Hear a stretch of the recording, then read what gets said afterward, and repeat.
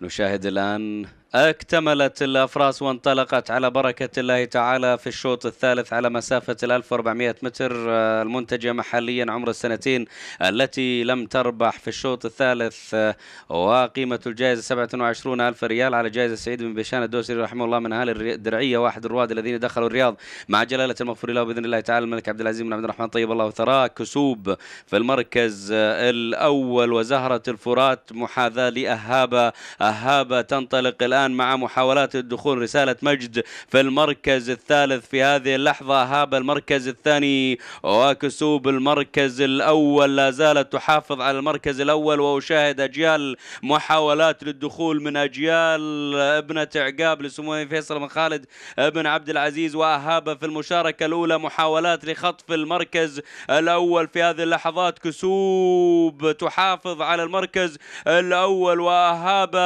بقيادة كم كاميلو اسبينا محاولات لفعل شيء مع محاولات من الدخول من فولاذ الآن وأجيال. أجيال الآن تحاول أن تدخل اهابه تحاول أن تدخل المركز الأول مع محافظات من كسوب. محافظة من كسوب لاسطبل الأجواد على المركز الأول. اهابه تحاول وأجيال تحاول كذلك.